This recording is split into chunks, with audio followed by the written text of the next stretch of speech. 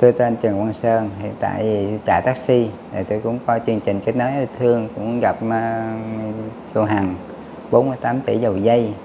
Thì tôi cũng muốn uh, ở rễ để uh, hết đời, để quãng đời còn lại để cho nó trung thực và Lâm Thanh Hằng á. À, chị Hằng. Ừ. Rồi chị Dạ Hằng là- à, 58 tuổi. Ừ, mình thấy Ừ. là mình thấy um, cái khoản đó thì mình cũng thấy Chị Hằng đó là 48 tỷ đó. Con à, có người, người con đi nước ngoài đúng không? cái đó thì à, cũng nghe thông tin như vậy nhưng mà cái quá trình mình không có đề cập Là anh thấy chị Hằng chạy với, với ô tô màu trắng đúng không? đúng Đó, quá nhưng mà luôn. quá trình mà cái vật chất mình không có đề cập ở đây là mình đề cập đây là tại vì giờ mình là không có nhà Không có nhà. cái thứ nhất nữa thì à, mình cũng tại vì á nghe nói chị hằng là chỉ chỉ muốn là ở bên gia đình Ở chị để. tỷ Ừ, thì mình quá trình mình cũng muốn như vậy tại giờ mình không có nhà. Rồi mình về. Đó. chị Hằng mình ở rễ luôn. đúng. Mà lương tháng là 80 triệu rồi con cho thêm mấy ngàn đô nữa là tổng là trăm mốt trăm hai. Không, rồi cả nhà cả biệt thự là 48 tỷ. Trời ơi. Quá đã. không đây ở đây á thì thì coi thì nghe chị hằng chỉ nói vậy nhưng mà mình không có đề cập một vấn đề là vật chất ở đây á là đề cập là giống như chị hằng nói là là kiếm người là thực tình và chọn để mà để chung sống cho Anh bao nhiêu tuổi rồi? này. À, Anh năm bao nay, nhiêu? năm nay là chú cũng 55 rồi 55 và là anh ít hơn chị Hằng 3 tuổi nói với chương trình ngày hôm nay, hôm nay có anh trai cũng vượt quãng đường rất xa tìm một nửa yêu thương của mình. Điều kiện của anh đưa ra cũng hơi khó. Thì ngày hôm nay anh có tìm được cô thương. nào chị nào không? Kính mời cô chú anh chị theo dõi hết câu chuyện ngày hôm nay để biết thêm thông tin. Rồi thay mặt mấy anh em ở đây em chào anh. À, chào à, kết nối yêu thương Rồi trước hết thì anh cho biết anh tên gì, bao nhiêu tuổi? à, mình là tên à, Trần Quang Sơn à, trong giấy tờ đó là mình là sinh 1969 nhưng mà lúc mà nó cũng qua qua Tết á thì à, bà mẹ bà làm cái giấy 70 luôn năm Rồi 1970. tình trạng nhân gia đình mình sao? Ờ, tình trạng thì à, cũng đi vậy lâu rồi Anh có mấy người con? Ờ, có một cháu gái giờ lập gia đình rồi Rồi lập gia đình rồi. Bây giờ là mình ở một mình hay ở chung với con? À, ở à, một mình Một mình một nhà. thì à, quá trình á, trong cái năm dịch đó thì mình cũng làm ăn cũng à, thất bại Nên là nhà bán. thất bại là vậy mình bán à, mình có cái, cái nhà cũng có thuê phòng trọ thì có năm có phòng trọ Tios không có phòng trọ. Thì mình thấy như vậy lúc đó mình chạy thuê mình chạy thuê. Thế là bây giờ mình có nhà không? thì à, bây giờ là bán rồi hiện tại là bán. Tại vì á, mình cũng có mua xe đó trả góp ngân hàng đó mình đầu tư Rồi, mình rồi làm mình bán vụ. nhà rồi đúng không? Mình- dịch vụ rồi xong rồi chứ mình bị lỗ thành ra là dịch vô đó. Thì mình mới bán xe hết trả nợ trả nợ thì bán xe đó lỗ lỗ rồi rồi trong quá trình thời gian nữa thì mình còn nợ. Trả không nổi. Ừ. Trả không nổi. bán nhà. Bán luôn nhà luôn. Banh luôn. đúng. Thì bên Huy Hùng có bán nước cốt nhạo ủ 6 tháng thì nó mới được như cái hình bên cái chai này. Chị à, nhức mỏi này đau nhức này các vấn đề về xương khớp à, huyết áp cao. Quý vị và các bạn ủng hộ Huy Hùng à, mua hàng thì hãy gọi điện số điện thoại trên màn hình này. Huy Hùng sẽ giao hàng tận nơi. Xin cảm ơn quý vị và các bạn. Thì à, bán ở nhà thì mình có một cái số giống nhỏ mình mua ở nhà Tây Ninh. Ừ. mua nhà Tây Ninh thì à, mua 600 Ở trong cái đó vì Tây Ninh á, thì à, mình trước khách quê nhà thì mình không có làm ăn được chỗ đó thành ra là cái quá trình thời gian đó mình cũng Ngắn bị, gọn đi anh. mình cũng bị à, bị mất tiền Rồi bán tiếp. bị mất tiền làm ăn rồi thì mình mới bán nhà Bán tiếp căn nhà Tây Ninh nữa. bán nhà thì mình bán nhà thì Giờ tóm lại là bây giờ mình ở đâu? Bây giờ mình ở nhà ở nhà trọ Ninh Ừ, bây giờ vòng quá rồi bây giờ là mình bán nhà Tây Ninh nữa rồi. Ừ. Rồi đó cái nhà Tây Ninh là mình mua 600 mình bán rồi. bán là bán lỗ nữa mua 600 mà lúc đó thì Ừ. thấy mình cần á nó mua có sáu bốn trăm sáu Rồi. Rồi mình cái bán- số tiền đó giờ mình làm gì còn không? thì mình mua xe đó là mình chạy taxi đó Chiếc chơi đó đâu có nhiều. Chiếc đó anh mua nhiêu? Chiếc ờ, ô tô đó anh mua nhiêu? Cái đó thì mình đưa trước là 255 Ừ. 200 à, 255 triệu Rồi bây giờ là mình ở trọ, mình không có nhà. mình ở trọ mình đã thành thử ra là mình Rồi bây giờ là anh chạy xe dịch vụ ha. chạy à, taxi Ừ. Lương tháng được nhiêu anh? thì nói chung là à, cũng tùy theo khi được ngày triệu mấy khi sáu bảy trăm khi ba bốn trăm à, ngày thường bây giờ mình lên mình tìm một nửa thương à mong muốn anh như thế nào thì à, cũng có coi chương trình của em đó. Rồi. Thì anh cũng có thấy là cái chương trình của à, Lâm Thanh Hằng á. À, chị hằng. Ừ. rồi Thành chị hằng là- à, 58 tuổi. Ừ, mình thấy Ừ. là mình thấy à, cái khoản đó thì mình cũng thấy chị hằng đó là 48 tỷ đó. Con có người, người con đi nước ngoài đúng không cái đó thì à, cũng nghe thông tin như vậy nhưng mà cái quá trình mình không có đề cập là anh thấy chị hằng chạy với, với ô tô màu trắng đúng không? Đúng. Đó quá nhưng mà quá trình mà cái vật chất mình không có đề cập ở đây là mình đề cập đây đó là tại vì giờ mình là không có nhà. Không có nhà. Cái thứ nhất nữa thì à, mình cũng tại vì á, nghe nói chị Hằng chỉ chỉ muốn là ở bên gia đình ở chị ừ, thì mình quá trình mình cũng muốn như vậy tại giờ mình không có nhà rồi mình về Đó. chị hằng Không. mình ở để luôn đúng ừ. rồi chị hằng nói 48 tỷ mình à, thích về bên chị hằng mình ở để luôn có khỏe Ừ, đúng thì nói không chung là mình không có đề cập gì cái cái cái, cái dục phi vật chất nhưng Ừ. mà mình mình, mình thấy á, là cái quá trình đó là người tốt và với lại nữa là cũng đưa ra một cái dự án mình thấy nó cũng hơi thích một mấy điều đó thành ra là mình cũng muốn là ai cũng vậy cũng muốn là một cái dịp cầu nói để cho nó có chứng minh chứng bạch. Bây giờ mình đi Dạ. ở để thì mình có ờ, ngại gì không? Mình có sợ người ta nói ra nói vào gì không? Không cái chuyện đó thì người đời nói sao nói nhưng mà miễn sao mình sống cho nó thật lòng của mình. Và anh với với lại- chị Hằng á, là chị Hằng là lương tháng là 80 triệu rồi con cho thêm mấy ngàn đô nữa là tổng là trăm mốt trăm hai Không, rồi cả nhà ừ. cả biệt thự là 48 tỷ. Tại vì- trời ơi. Quá đã. không đây ở đây á thì thì coi thì nghe chị Hằng chỉ nói vậy nhưng mà mình không có đề cập một vấn đề là vật chất. Ở đây á là đề cập là giống như chị Hằng nói là, là kiếm người là thực tình và chọn để mà để chung sống cho Anh bao nhiêu tuổi rồi? À, Anh năm bao nay, nhiêu? năm nay là chú cũng 55 rồi. Năm năm và là anh ít hơn chị Hằng 3 tuổi. Tính ra anh mới năm ba năm bốn vậy hả? chị Hằng năm tám rồi anh ơi. Được tại vì à, cũng à, cũng nghe nói là cũng không có nhỏ lắm mà cũng không lớn lắm. Ít Đó. hơn mấy tuổi cũng được luôn ha. Nhưng mà chị Hằng nói thì cái đó cũng hơi tùy duyên nữa. Nhưng mà chị Hằng mà nhà biệt thự mà về đó mà anh về nhà anh có lau chùi nhà quét dọn nhà cửa nấu cơm giặt đồ được không? Rồi dưới đây à, mình cũng sống một mình đây cũng nhà ngăn nắp gọn gàng lắm mình không có muốn là cái bề bộn hoặc là một gì đó. À, mình cũng là từng đúng à, làm được hết ba đó dễ mà ha. Ở để là dễ. Thì bây giờ mình lên chương trình này có mấy cô mấy chị mà đang ở trọ đến mình được không? Thì cái đó thì nói chung là cũng tùy Cần theo tùy theo với lại nữa coi có cái thứ nhất là hợp tánh hợp tình với lại nữa như thế thế nào nữa. Ừ. nếu hợp rồi mình được không? Nếu hợp thì cũng tới. Mình không có cần vật chất mà. Miễn sao mình làm miễn sao mình làm có đồng ra đồng vô là mình vui cô vẻ. mấy chị đó là ở trọ đó. Đấy còn rồi bây giờ mình lấy vợ về mình ở trọ luôn hả?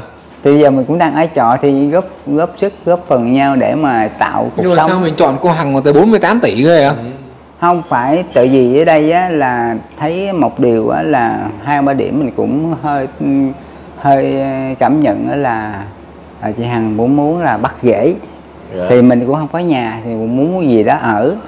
Đó để mà sau này á thì có thể là chung sức với nhau để mà sống có cái niềm tin và cái niềm vui.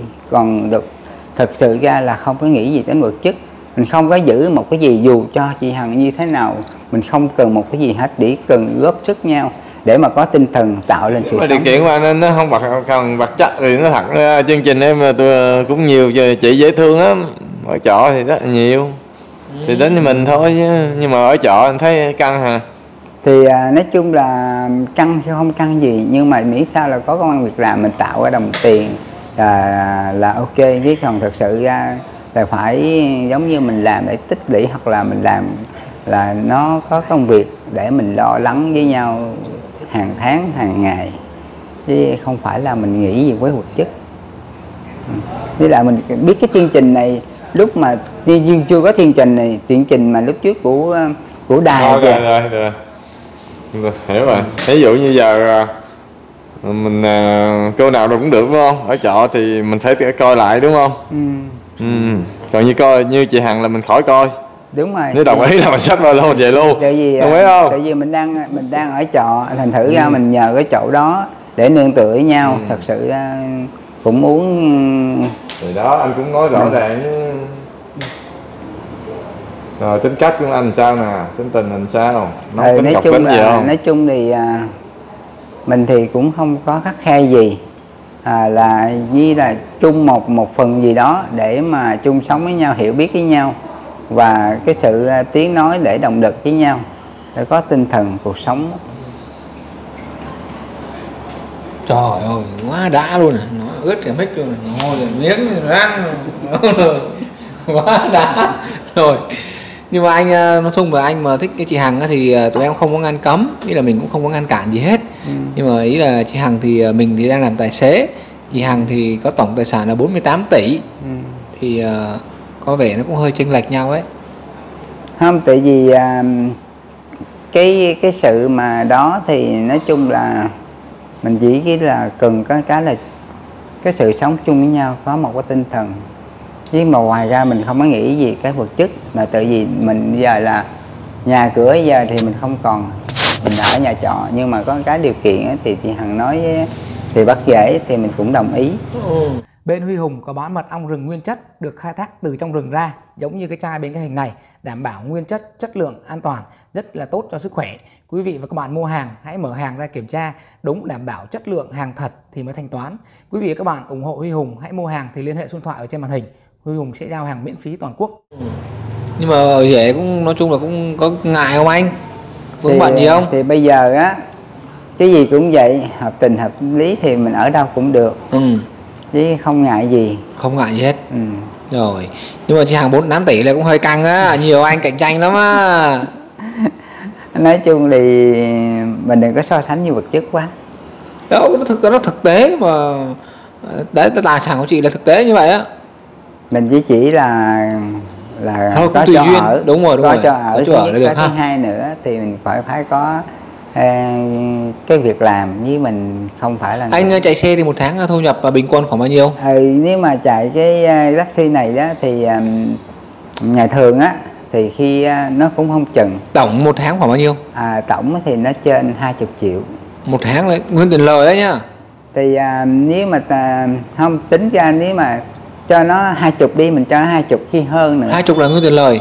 Là chưa trừ phí của Ôi của trời gác. anh phải trừ xăng cộ ra chứ. Không cái này xài bằng điện em. À thế mình trừ hết chi phí ra còn được nhiêu à, thì à, cái này á, thì mình mới là ngồi sạc như vậy đó là nó một trăm tư. Một trăm bốn chục ngàn một lần sạc. Ừ đó là sạc. Tháng sạc cái chục lần. Một tháng á, thì hai chục lần nó mất 14 triệu rồi. Đó, đâu có cái này à, 140 ở một ngày á, như sáng á, dụ à, mình chạy đêm ha. Nếu mình chạy tới 12 giờ hay 1 giờ tùy theo dụ có khách đi xa thì nó hơi trễ có khách nào mà nhưng bữa nào mình chạy hơi đắt á thì giờ bảy tám trăm á. Tóm lại là một tháng anh bỏ túi được bao nhiêu? À cái túi hả? Ờ bây mình trừ hết chi phí đó. À, thì nói chung thì cũng à, 15 triệu để trừ hết ờ, chi vậy là cũng tốt rồi. À. vậy thu nhập ổn định rồi. À.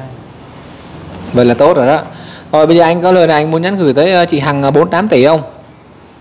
Em đừng có nói với vật chất đó ý là chị Hằng trên, chương- trên chương trình của em có rất nhiều chị Hằng. Chị là- Hằng là bán hủ tiếu này chị Hằng cà phê này chị Hằng ờ, nông sản này rồi chị Hằng ờ, chạy rap này chị Hằng 48 tỷ dầu dây này đó nó phải nói vậy để người ta biết không chứ. tại vì cũng coi kênh nhiều rồi. Thành ra là cái cái em mình tới đây đó thì cũng muốn là kết nối với yêu thương của Lâm Thị Hằng. Thành ra là La Thị Hằng à Lê hả? La. Hả? La Thanh Hằng hả? Gì ừ. Ừ, thì nói chung mình với chị em tới đây thì cũng nhờ kết nối yêu thương để, để anh có lời nào muốn nhắn gửi tới chị hay không? Ừ, nói sao bây giờ? Hằng ơi rồi anh xem em anh thấy em sao đó. Chỗ xã hội bây giờ lúc ở về lúc. À, thì nói chung là à, anh cũng coi cái kênh của à, cái nói yêu thương thì cũng coi cái kênh của em ha thì thấy à, cũng hợp tình hợp lý nó cũng có nhiều khuyết điểm. Thành ra năm nay anh tới chương trình kết nối yêu thương để à, bắt nhịp cầu để gặp đến hằng à, rồi cảm ơn anh đã tin tưởng chương trình. Cũng là lội một quãng đường cũng mấy trăm cây số ha. Hồi lên chương trình nhờ anh em kết nối. Hôm nay anh đến đây anh có cam kết tất cả những thông tin anh chia sẻ là đúng và anh chịu trách nhiệm trước pháp luật với những thông tin mình đã chia sẻ không?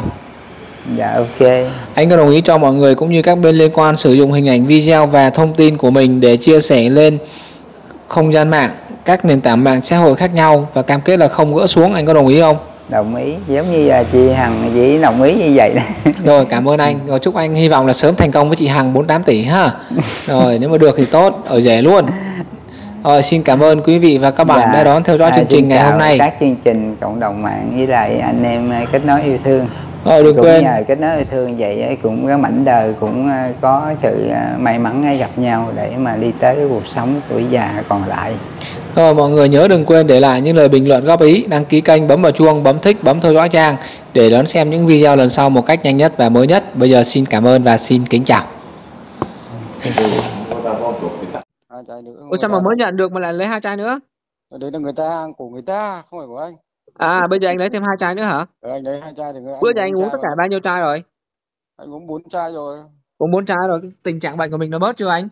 Ờ, nó có bớt Có bớt hả? 10 phần bớt được mấy phần rồi? 10 phần thì nó bớt được độ bảy tám phần rồi Ồ vậy là quá hợp thuốc còn gì nữa. đấy Thế trước khi anh uống cái tình trạng bệnh mình như như thế nào? đấy nó cái gối của nó nó sưng Dạ. nó sưng hụ gối lên thì xong bắt đầu uống mà thấy nó khỏi Anh uống được bao nhiêu ngày thấy nó khỏi? uống được hai chai thì bắt đầu thấy nó đỡ thì xong đây rồi anh lấy hai chai nữa là bốn chai uống đấy Nó sưng lên giống như kiểu anh bị viêm viêm khớp đúng không? đúng rồi chính xác Và anh có mà hồi trước giờ uống nhiều thuốc chưa? trước thì anh cũng uống nhưng mà trước nó có bị đâu mới bị À mới bị đây à? Ờ, vậy là anh, anh vậy là anh hợp thuốc và bây giờ đi lại ngon lành rồi gì? đi lại thì lúc này ngon lành rồi Bây giờ anh lấy thêm hai chai nữa uống ha. Ờ, hai chai người ta còn lấy cho người, một người ta một chai còn anh uống một chai xong hết anh lại lấy Dạ rồi ok anh nếu anh uống tốt ai? uh, hiệu quả anh cứ giới thiệu giúp em. rồi ai mà gửi thì người lại đợt trước Thôi. mà gửi thế nào lại lâu thế chứ bảo không biết là không thấy gửi thuốc về Đâu bình thường thì nó dao động ờ, khoảng tầm ngoài Bắc thì khoảng tầm uh, 4 đến 5 ngày, tối đa là 6 ngày là nhận được. đâu chỉ ba ngày đấy hôm vừa rồi mới gọi điện thế mà hôm nay đã nhận được rồi mà Thì đấy nó tùy theo anh có khi thì nó giao nhanh khi thì nó giao chậm, nó tùy theo cái đợt nó nhiều Ờ, hàng hay anh- ít hàng. Mấy hôm anh bận của anh bảo điện cho em xem nào là thuốc chả thấy gửi về Dạ ok em cảm ơn anh uống tốt giới thiệu cho em nhá. rồi rồi rồi Dạ em đấy chào anh. Dạ dạ dạ.